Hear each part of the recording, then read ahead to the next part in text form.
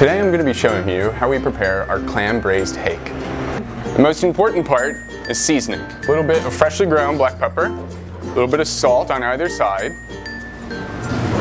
and then we're going to dredge it in flour to help insulate it through the cooking process. Then we have another hot pan where we're going to add a little bit of olive oil or cooking oil and some freshly chopped leek. Don't forget to season. Then what we're gonna do is add in a little bit of clam juice that we got from cooking our fresh little neck clams, which are very easily available at Southold Fish Market from Mr. Charlie Manwaring. We're gonna add that into our pan. Add in a little bit of sweet potato, and some spelt. Don't forget to season.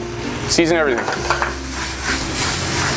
So now, to our vegetables, we're gonna add a little bit of freshly chopped kale, not get it all over the place.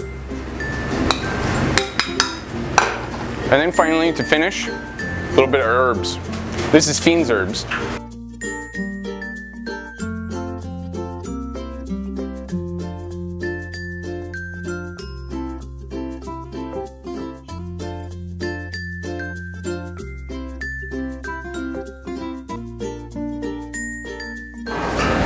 Voila, clam braised hake with spelt and sweet potato.